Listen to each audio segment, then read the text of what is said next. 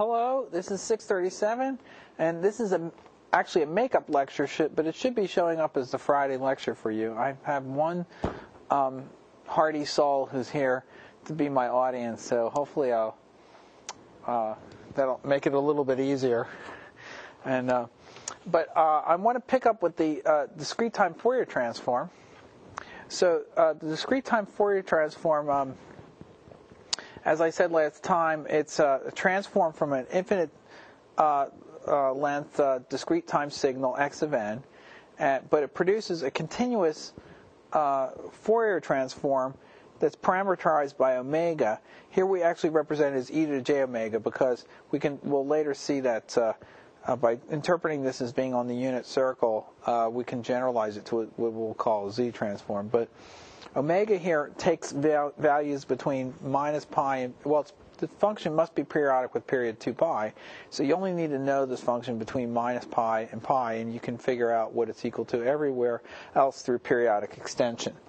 So now there are a few uh, functions that come up all the time in discrete time uh, signal analysis. And uh, one is the uh, step function, which is 1 for n greater than or equal to 0 and 0 otherwise.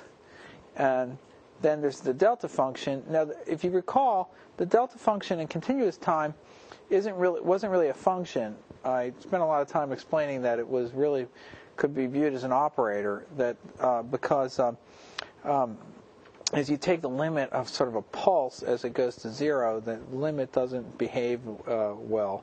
So, but in discrete time, the delta function is uh, well behaved. So uh, you have to distinguish between the two because my notation is basically the same for the two. You have to distinguish through context. But basically, the delta function is equal to 1 at 0 and 0 everywhere else. So its sum is 1 instead of its interval being 1. The uh, pulse, uh, I, this is some notation I've made up myself because it, uh, I think it comes in handy. But a pulse of length n looks like this. So if you take so if a pulse of length n looks like, look, if you have a continuous time si- signal, this is time zero. This is minus one, so it's it's zero here, and then it's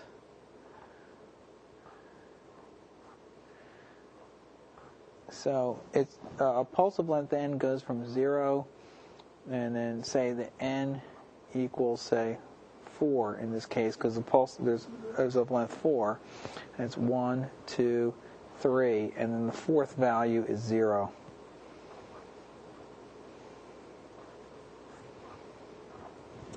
Okay, so it goes from from uh, zero to n minus one, and. Uh, that's it. Okay, and then uh, if you take the continuous time or discrete time Fourier transform of a pulse of length n, you're going to get something similar to a sinc, but a sinc is not periodic with period 2 pi. So, the, so, so the Fourier transform of a pulse can't be a sinc. It has to be something a little different, and and it turns out that this is this is what it is. So this can be viewed as a discrete time sinc function because it's periodic with period 2 pi. Now, actually, this function is. Uh, is periodic with period 2 pi when n is odd, but when n is even, um, it's actually uh, periodic with period 4 pi. Uh, we'll see how that you can fix that up with a phase term. So, um, and uh, uh then um, a periodic version of of, of the rect function uh, uh, can be written this way. So the rect function in the Fourier transform domain uh, isn't a legitimate um, discrete time Fourier transform because it's not periodic with period two, period 2 pi, so you have to extend it. So this rect function has cutoff frequencies of omega 0 and minus omega 0, so it looks like this. So this is pi, and this is minus pi, This is omega 0 minus omega 0. And then this is uh, 2 pi. This is 3 pi. And this would then be um, 2 pi minus omega 0 which is, yeah, 2 pi minus omega 0. And this is 2 pi plus omega 0. This is minus 2 pi. This is minus 3 pi. This is minus 4 pi.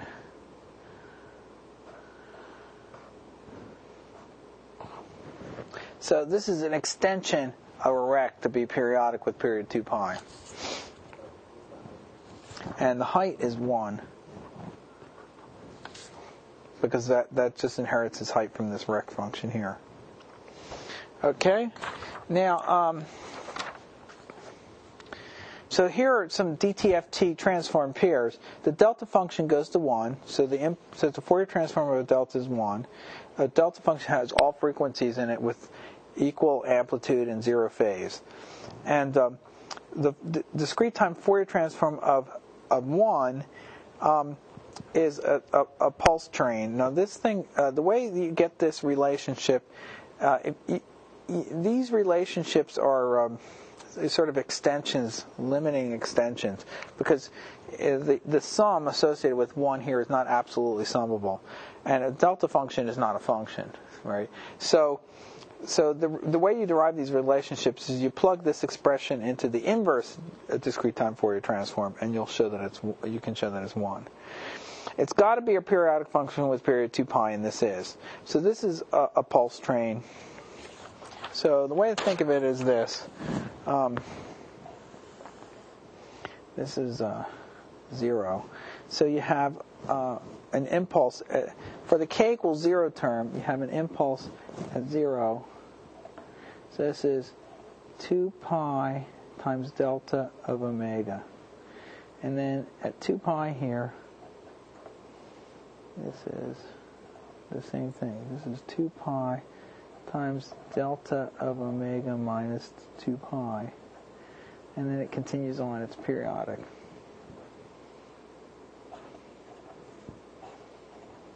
So this is minus 2 pi minus 4 pi. So this function is period, this is 4 pi. It continues. This, this function is periodic with period 2 pi. And if I take its inverse the DTFT, if I use this formula here,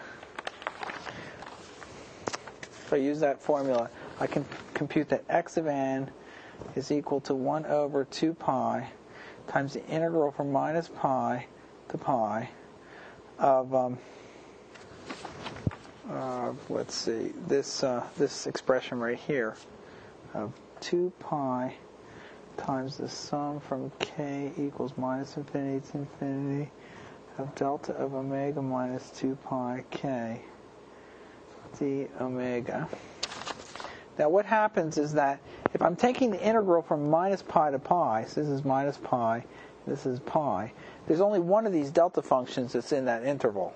So that's equal to 1 over 2 pi times the integral from minus pi to pi of 2 pi delta of omega d omega because it's only the k equals 0 term that's that's uh, falls under that integral.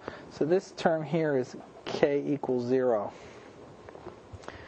And then, well, this thing here then is equal to just 2 pi over 2 pi is equal to 1. So now I've, I've basically I, I, proved that relationship. Okay.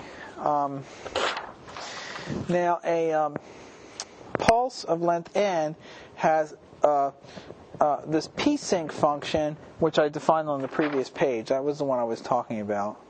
Okay, it's p-sinc um, times e to the j omega n minus 1 over 2. So if uh, n is a odd number, then uh, let's say n is 3. Well, then this would be 3 minus 1 is 2 over 2 is 1. So then this becomes, uh, then e to the minus uh, j, um, this re- represents a delay. e to the minus j omega n minus 1 over 2. This is a delay of n minus 1 over 2.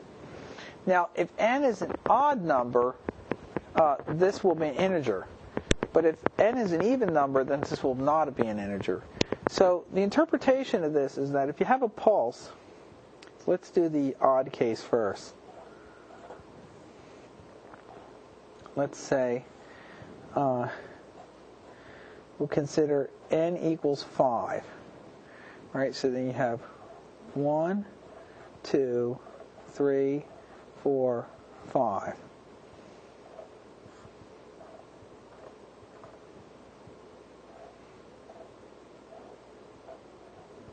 Right? So when you have an odd number, there's a center point. And if you had shifted that center point to 0, then you'd have this.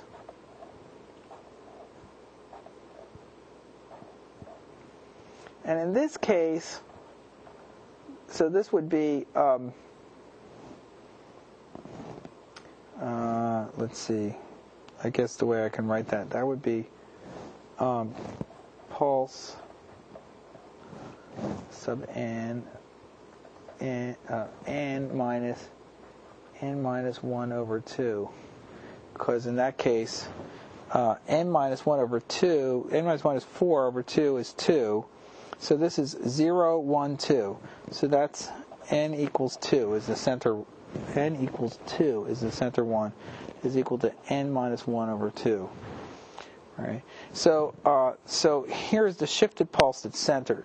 So this one's symmetric about zero. So its Fourier transform will have zero phase. So in that case, the transform of that, uh, the discrete time Fourier transform of that is going to be equal to um, p sinc sub n of omega. Okay, so when n is um, an odd number, this function is periodic with period 2 pi. But when n is even,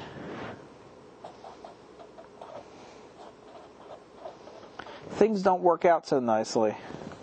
So usually think of odd numbers as being the unpleasant case, but here it's the even numbers of the unpleasant case.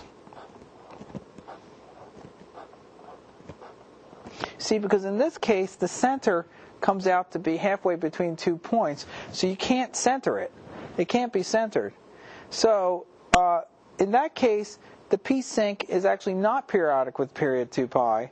And in order to make it periodic with period 2 pi, you need to add this term, which is e to the minus j omega to the 1 half. So the product of this times the p sinc is periodic with period 2 pi because of this half sample delay. So, okay, enough on that. Um, okay, and then the sinc function in time has a, uh, a discrete time Fourier transform of a p-rect. So this is important because this gives you some basic intuition as to what uh, uh, if you have a linear time invariant filter. So if you have a linear time invariant filter, you have um, let's see, uh, you have uh, x of n goes into the filter, and the impulse response of the filter is h of n, right? And that produces a y of n, okay? okay. And now, uh, if I take the Fourier transform of all these things, then x of e to the j omega is here, and then uh, this is h of e to the j omega, and then here y of n, by the way, is then equal to x of n convolved with h of n. We'll talk about that in more detail in a minute, but this discrete time convolution. So then the output here is y of e to the j omega, and that's equal to x of e to the j omega times h of e to the j omega. Okay? All right, so uh, one of the classic situations is uh, when you have, so we'll put h of e to the j omega here, and we'll put uh, h of n here, okay? So one of the classic situations is when um, when h of e to j omega is uh, is uh, is a low pass filter.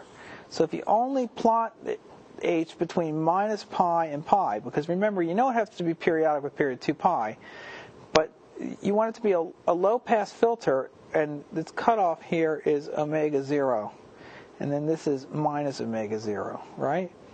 And that corresponds to the case where uh, h of e to the j omega is equal to p rect of 2 omega 0 times omega. If, that was the case I just drew, by the way. That was this case right here, and let me just bring up my drawing. So that was this case. So I'm just drawing this much of it, but it really extends periodically. Okay. Uh, okay. So that's a classic case because that's a low pass filter. So if you want to build a low pass filter in discrete time, what's its impulse response look like? Well, this is the this is the answer right here. And of course, you'd have to evaluate it. The way you do it is you do this integral, and you can show that this integral is equal to this. Okay, but uh, I won't do the integral, but I'll at least give you the answer that h of n is equal to omega 0 over pi of sinc of omega 0 n over pi. So, and by the way, here this is 1. That was actually the question we had before, right? So, um, so what this is saying is that if you want to build something which is a low pass filter in frequency, its impulse response should be a sampled sinc in time. And the samples, the sampling period t here is equal to omega 0 over, over pi. Remember, the maximum value of omega 0 is pi, so this will always be less than 1. Okay? And remember, the sinc function looks like this.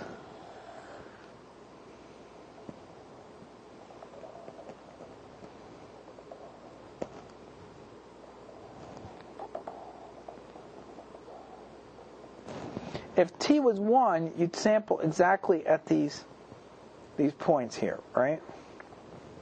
If you example, if you, but if t was 1, that would mean omega 0 was pi. And in that case, these would all butt together, and then this would be flat. Okay, so it would be just one. So let me do that one case real quick because it works out really beautifully actually.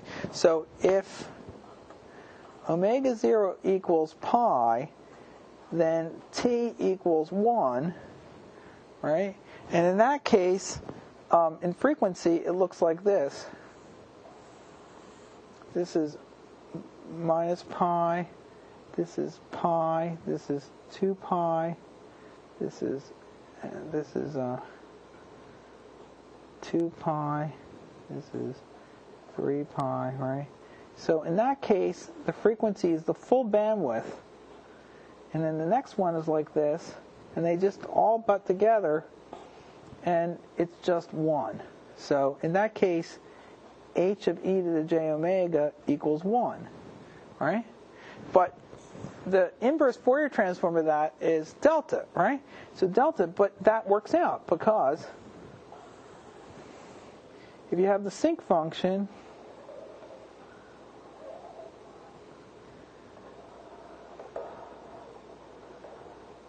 the t, this is 1, this is 2, this is 3, this is 4. It's not, not to scale.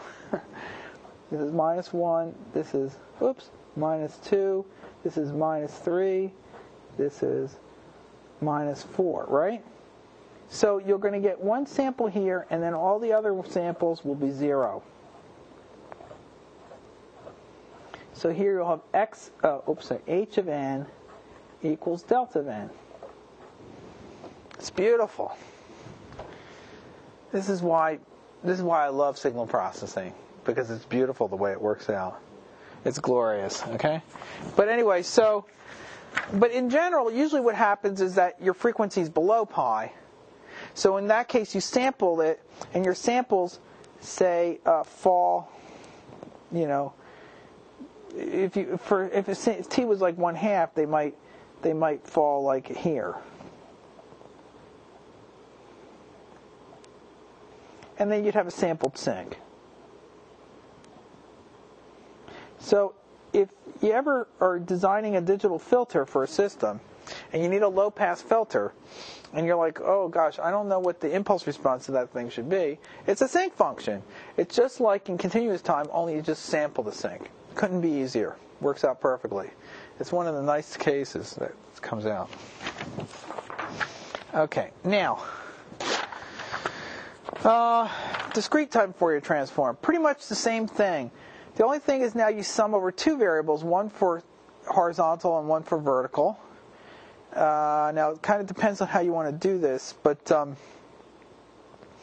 um, so n is, let's see, if you have a matrix, okay, if you have a matrix, you have f of nm, right? Then, then n is is is the row, and n is the and m is the column, right?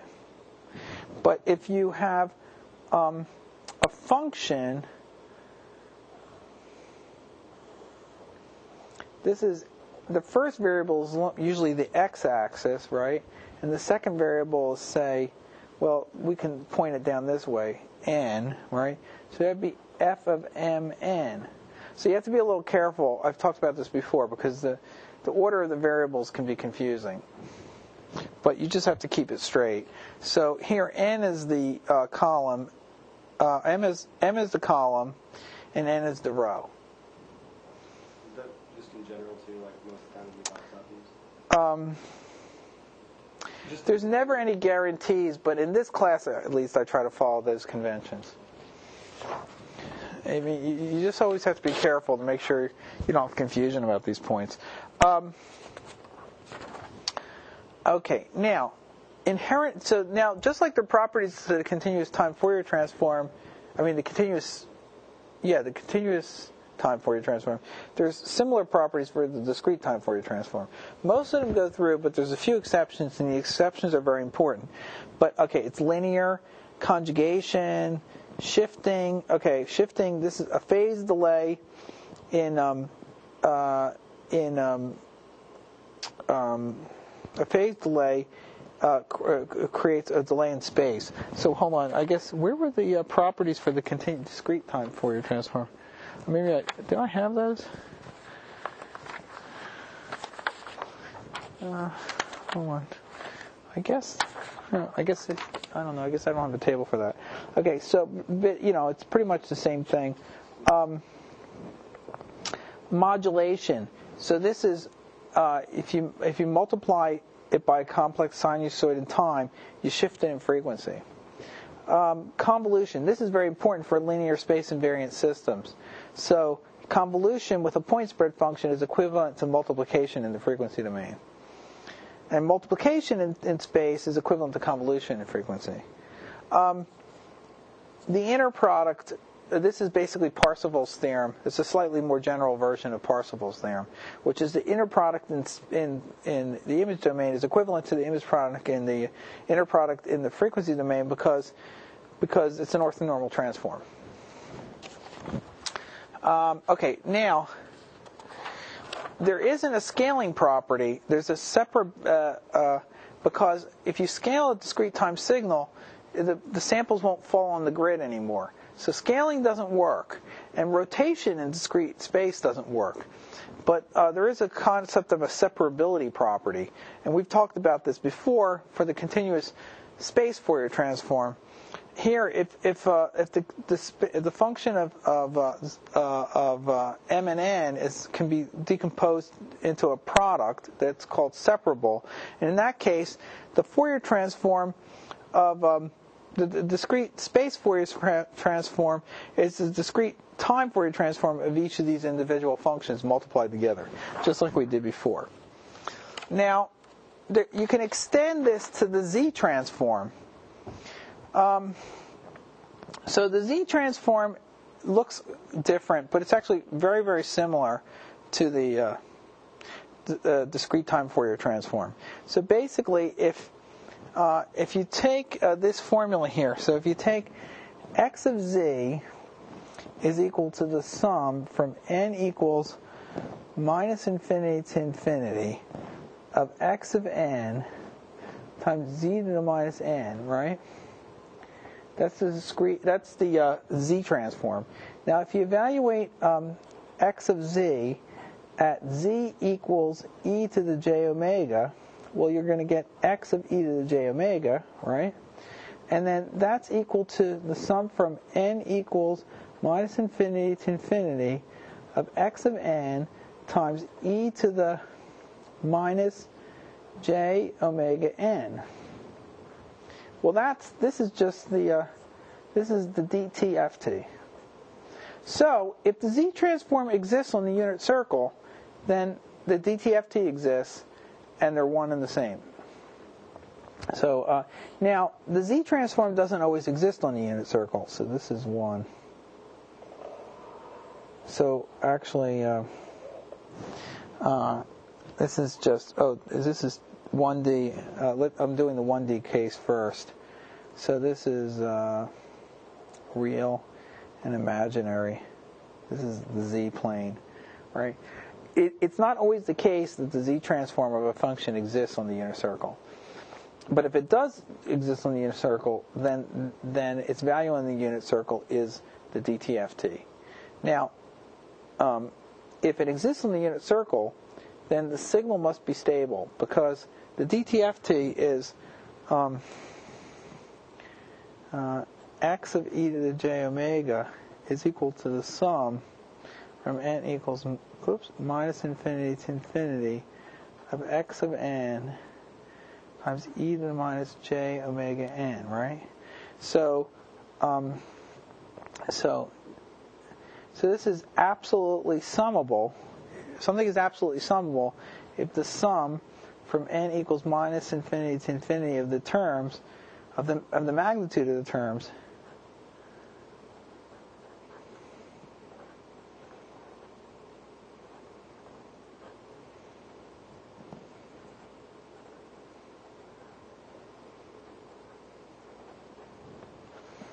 if this sum exists, or is, in other words, less than infinity, because it's got to be positive since it's a sum of positive terms.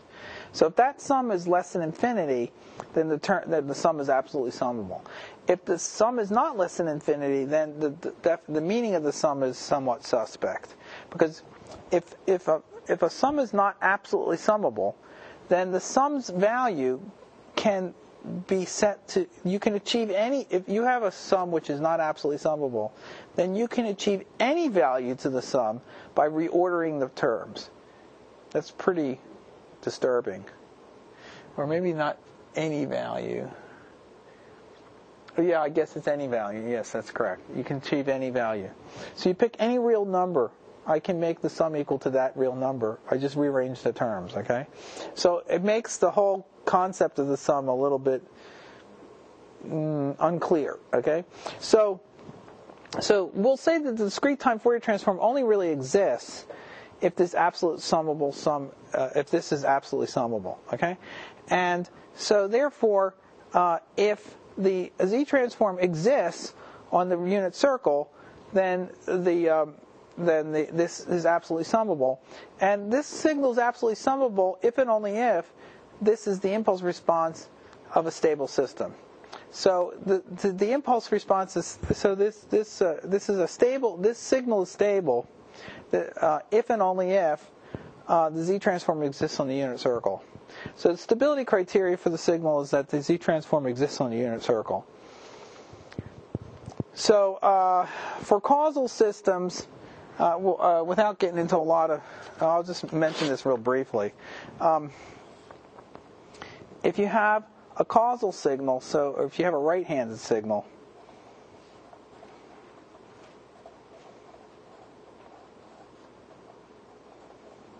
So then a right-handed signal has the property that uh, x of n equals 0 for all n less than or than, than some n 0.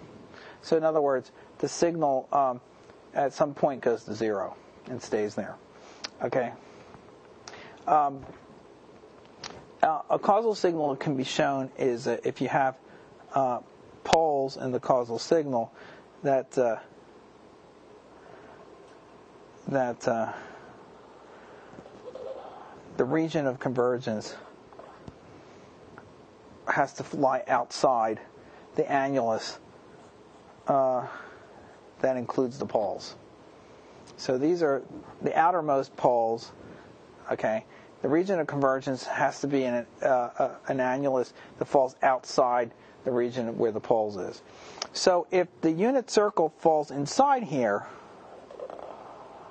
so this is 1, if that's the unit circle's there, in that case, the region of convergence for the z transform does not include this unit circle, so this is unstable. Okay. If the alternative situation is that you have some poles, okay, and then this is the region of convergence. And then say the unit circle's here.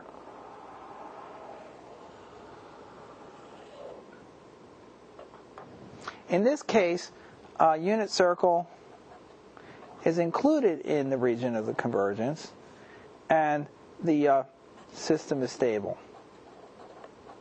Okay, so the c- criteria for stability is that the unit circle is in the region of convergence.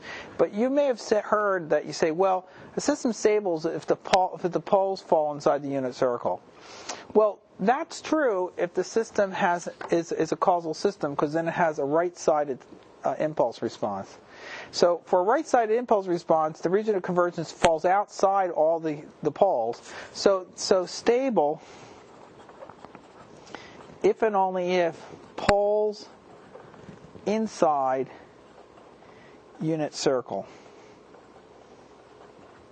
But this is for this is true for um, uh, causal systems.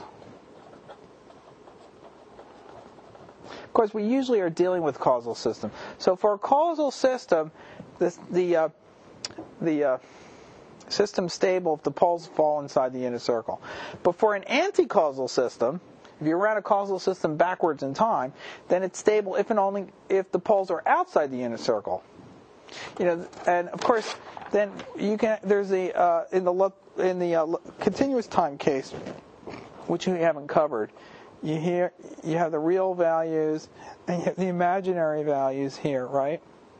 And I think if the poles are, where do they have to be? Open left half plane. That's what I thought. Okay, I haven't done this for a long time. So basically, there was a, a there was an there was a story about an airplane that was took off from Warsaw. Warsaw is that how you spell Warsaw? And and and what happened is it was flying to uh, to uh, it was flying to uh, uh, uh, I think it was flying to Berlin. And what happened was that uh, while um, while the plane was flying, everybody on board got on the left hand side, and the plane crashed. And the reason is because if the poles are on the left hand side of the plane, the, it's unstable. so, anyway. Uh, okay. Okay. It's good that there's at least one person to listen to my jokes. Okay. Um. Okay. Now, uh, so I already covered this basically. So basically, if you evaluate the Z transform, so let's assume that we're going to be dealing with stable signals. So for stable signals, um, the the Z transform will exist on the unit circle in one or two D, and uh, then the, the Z transform evaluated on the unit circle is going to be the DTFT. Okay. All right. Okay. So that brings us to sampling. Okay, sampling. Um, I've already talked a little bit about sampling. We had a little prelude of sampling here because I was talking about uh, this situation. Uh, Hold on, where is it? Oh, this was sampling really, because here I'm taking the sinc function. The Fourier transform of a sinc function is a rect. So when I sample it, what I get is I get the Fourier transform of the sinc function in, but it's now scaled appropriately in in this region from minus pi to pi. So this is how it's going to work. If you a sinc function is a band limited signal.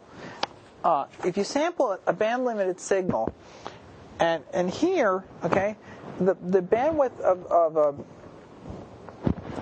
uh, the bandwidth of the signal here is uh, uh, so if it's okay, so if a, a sinc function has a band, oh, hold on, let me let me do it this way. Okay, so you have a sinc function here, right?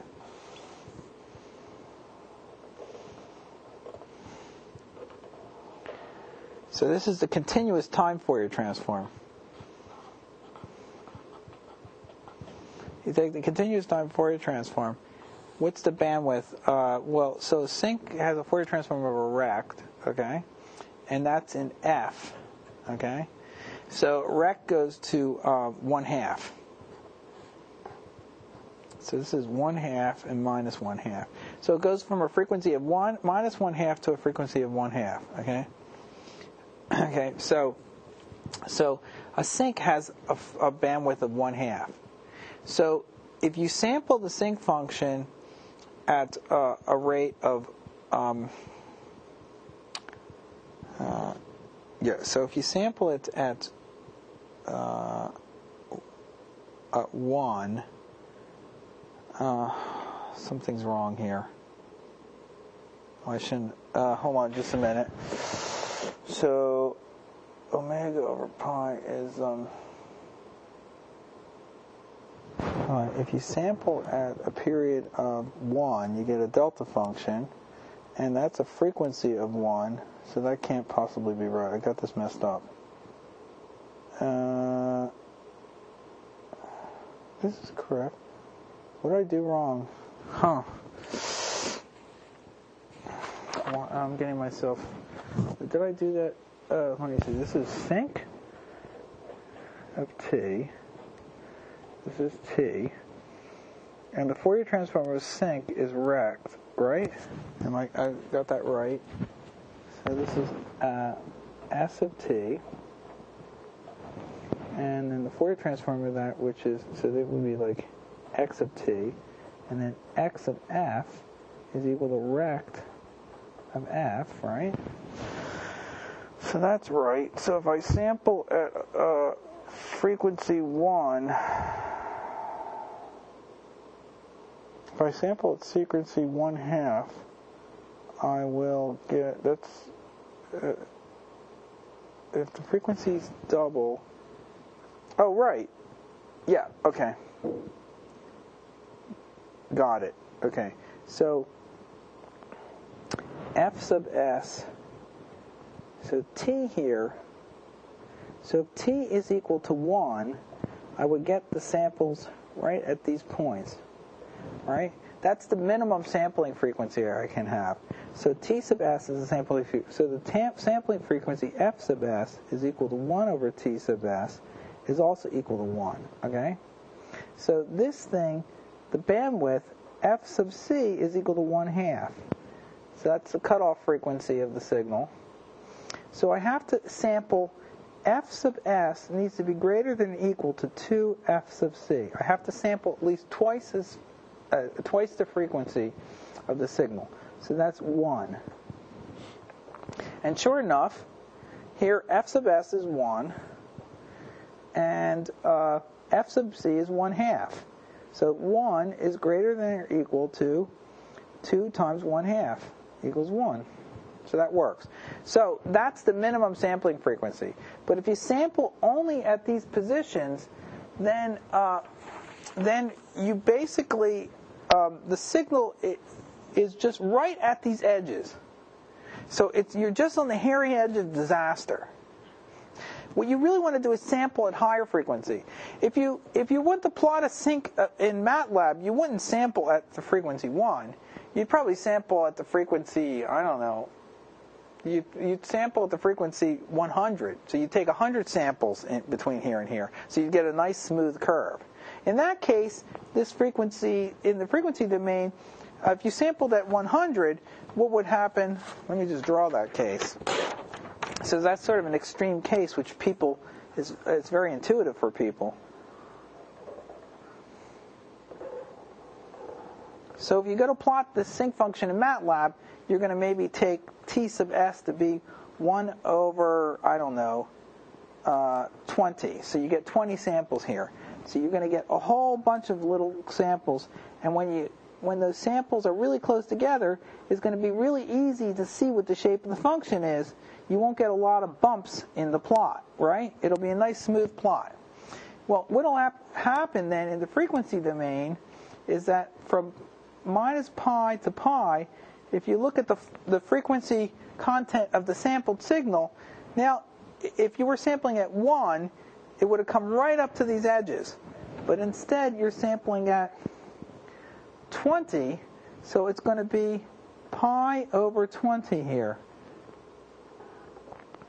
So the signal will be right at the very low frequencies. So you'll have a nice big wide band here that's open. Now if you go out here, it'll be periodic again.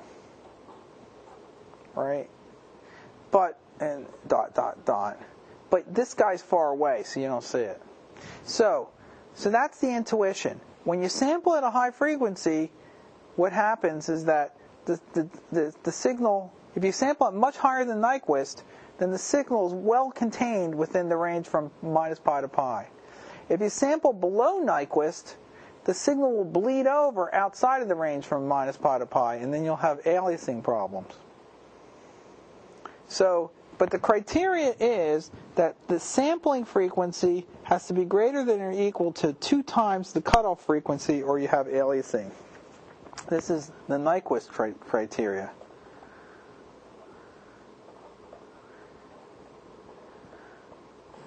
All right? See, so if you have a voice signal, and the voice signal has is three kilohertz, what's the minimum frequency you have to sample at it in order not to get aliasing? Well, so this is FC is three kilohertz. You got to sample FS uh, is equal to greater than or equal to six kilohertz. For instance, audio CDs. Audio CDs are are designed to be able to take uh, uh, maintain fidelity in signals all the way up to 20 kilohertz, right? From zero to 20 kilohertz. So the sampling frequency needs to be greater than or equal to 40 kilohertz. In fact, I forget exactly what it is, but it's something like 42 or 43 kilohertz or something. So there's some additional margin here that they throw in. To, otherwise, uh, it becomes difficult to do it precisely. And we'll talk about that in more detail. Okay, now, oh, going back to my regular slides. Um, okay, when you sample a signal in time, so these are the mathematics, but I wanted to give you the intuition first. If you sample at frequency, so your sample frequency fs is 1 over t sub, well, I could put an s here just to emphasize, 1 over t. That's your sample period. And then um, if you sample the signal, so um, uh, G, uh, G of t is a continuous time signal, so its continuous time Fourier transform is G of f. Then the discrete time Fourier transform of the so sampling in time is straightforward. The mathematics of that is simple. That uh, s of n is just equal to g of nt. Couldn't be easier, right? And you have uh, a continuous time signal it varies, say, like this. And 0, this is t, this is 2t, this is 3t. And each of those points you take a sample. So the discrete time signal is just the continuous time signal evaluated at times n times t. Okay? Right. So that's easy. So you'd say, well, okay, if that's so easy, why can't we just leave it there? I mean, why aren't we just done? Because this isn't giving you a lot of insight into what the relationship is between the information in S of n, the discrete time signal, and G of t. I know I can get from G of t to S of n, but the question is, can I get from S of n back to G of t again? Can I reconstruct the signal from the samples I've taken? In order to get insight into that, we need to look at the frequency domain. And this is the equation that relates the continuous time Fourier transform of G and the continuous and the discrete time Fourier transform of S. It's related through this expression here. Okay, now, what's the key issue? Okay, so you can study that equation. Okay, but what's really happening is this. This is a mapping from the uh, from the continuous time frequency to the discrete time frequency. First, ignore this this sum and only consider the case where the k is equal to zero, the first term. So this is just a scaling in frequency domain. So what happens is zero frequency in discrete time, omega is for discrete time frequency, and f is for continuous time frequency. F goes from minus, uh, goes, well, it, it's in units of hertz, okay? And omega here goes from minus pi to pi. Zero in continuous time is zero in, in discrete time. That's clear. But the interesting thing is one half the sampling frequency corresponds to pi, and the sampling frequency corresponds to 2 pi. Then there's a scaling factor associated with 1 over t, but that's not so critically important. Excuse me? Yeah, it's it's that's to maintain energy exactly. And then um, so it looks like this. Okay, so this is the Fourier transform, continuous time Fourier transform of the, of the continuous time signal. It goes from uh, so and this is half the sampling frequency to half the sampling frequency, and hopefully the signal is band limited to that range. So the cutoff frequency of the, of the signal is that point where the triangle touches the axis, but the sampling frequency, half the sampling frequency extends beyond there. So you want the sampling frequency to be more than twice the cutoff. When, then if you apply this formula here, right there, you just apply that formula, uh, this is what happens. That you replicate these triangles, and as long as they don't fold beyond, as long as you don't violate the Nyquist criteria, then there's no overlap between them here. And there's also a shift in the amplitude from 1 to 1 over t. But 0 goes to 0, and 1 half the sampling frequency goes to pi, and the sampling pre- frequency goes to 2 pi. That's what you want to keep in mind. Then the 2D case is, is pretty similar. Um, now it becomes a um, it's a um, um, a, func- a continuous function of space. So x and y are the continuous space variables. It's sampled, and the sample spacing could be different along the x and the y dimension. So you get a discrete time signal, and um, uh, then the, discrete time Fourier transform is the uh, is this uh, uh, uh the discrete time Fourier transform of the sampled signal is related to the continuous time, continuous space Fourier transform of the continuous signal through this relationship. It's the same thing, only have a double sum because you replicate along the horizontal frequency and vertical frequency axes.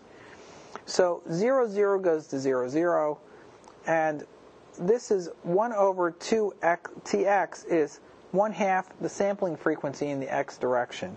That goes to pi. 1 half the sampling frequency in the y direction goes to pi and the combination goes to pi pi. Oh, that's there, pi pi. Okay? So it looks like this. You have a signal. This is half the sampling frequency in the horizontal axis. This is half the sampling frequency in the vertical axis. If the signal is band limited to that range, so it needs to be band limited to a, a uh, to a rectangle like this, right? If it's band limited, then the rectangle just gets re- replicated. And the boundaries of the, replic- uh, of the rectangle go to pi. And they don't overlap. As long as they don't overlap, you haven't lost any information and you can reconstruct the signal.